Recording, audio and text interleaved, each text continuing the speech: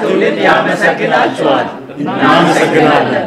በዓለማችንም ሆነ በሀገራችን መምህራን በትውልድ ቀረጻ እያበረከቱት ያለው አስተዋጽኦ ከፍተኛ ነው። ይህንን ደግሞ በመስመራቸው ያለፉት ያውቃሉ ያሉት የዳሞት ወይዴ ወረዳ ወጣቶች የቀድሞ መምህራንን እናመሰግናለን በሚል ፕሮግራም አሰናድተው ነበር። በሕይወት ዘመናችሁ ላበረከታችሁት የላቅ አስተዋጽኦ የእኛ ትውልድ ያመሰግናችኋል በሚል መሪ ሀሳብ የተዘጋጀው ይህ ፕሮግራም ታዲያ የቀድሞ የመምህራንን በሕይወታችን ላበረከታችሁት አስተዋጽኦ ለማመስገን የተዘጋጀ መሆኑን የመርሃ ግብሩ አዘጋጆች ተናግረዋል። ያስተማሩንን በእኛ ላይ ሀብት የራሳቸው ያላቸውን ነገር በእኛ ላይ የሰሩንን መምህራንን እንደገና ማለት ነው አይተን አስበን ማመስገን ችለናል እና ይሄ ደግሞ ጥሩ ነገር ነው።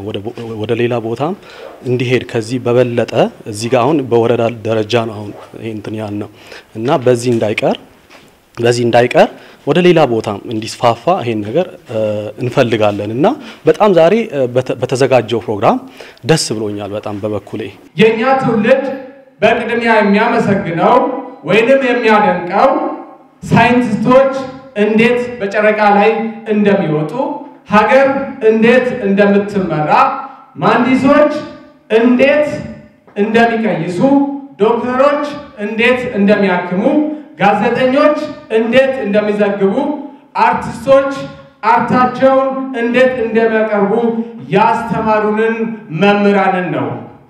የእነርሱ ምክርና ቁጣ ለዛሬ እንድንበቃ አድርጎናል። ስለዚህ መምህራን የእኛ ትውልድ ከልብ ያመሰግናቸዋል፣ ያደንቃቸዋል።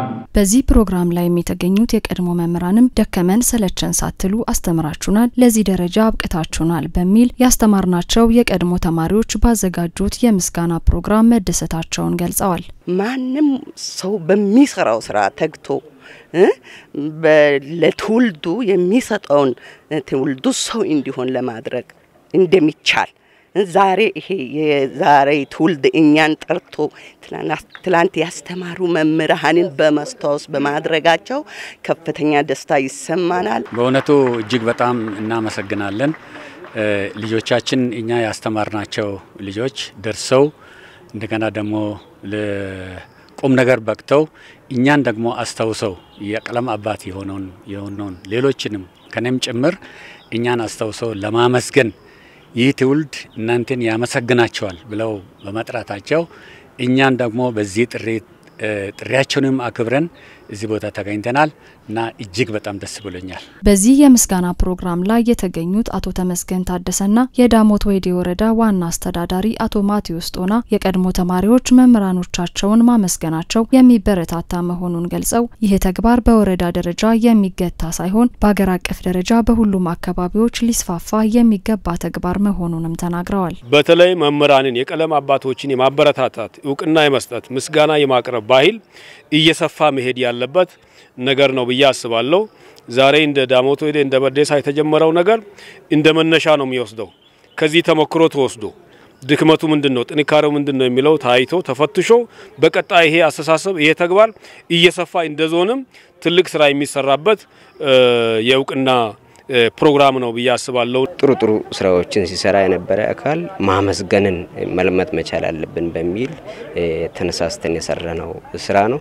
ወጣቶች በራሳቸው እንቅስቃሴ ያደረጉት ቢሆንም በእኛ ደረጃም በመንግስት መዋቅር ደረጃም እምነቱ በዚህ ተግባር ላይ በጣም የጎላ ነውና መስፋት አለበት የሚለውን ነገር ይዘናልና ለአጠቃላይ በአጠቃላይ በወረዳችን ባሉት ቀበሌያትም በዚህ አይነት መልኩ ያሉ መምህራን መመስገን መቻል አለባቸው የሚለውን ልምድም ጭምር የወሰንበት መድረክ ነው። ይህ ተግባር ለቀጣይ ትውልድ የሚያስተላልፈው መልእክት ከፍተኛ መሆኑ ተመላክቷል። በመጨረሻም ለቀድሞ መምህራን ላበረከቱት አስተዋጽኦ የምስጋናና የምስክር ወረቀት በማበርከት ፕሮግራሙ ተጠናቋል።